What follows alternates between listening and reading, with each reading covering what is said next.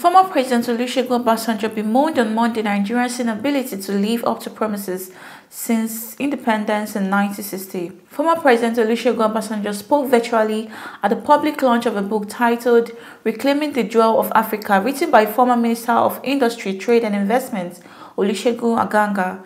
This event took place in Abuja and according to the previous president, the country has disappointed Africa and the rest of the globe. He also blamed the nation's level of development on inconsistent policy by previous administrations. Aside from Obasanjo, another previous president, Dr. Goodluck Jonathan, remarked that policy consistency, implementation, and equity must be watchwords of any administration.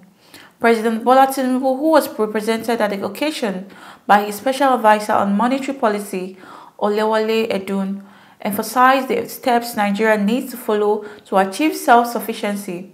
Former ministers and chiefs of government parastatals, members of the diplomatic corps, and traditional rulers were among those who attended the book's launch.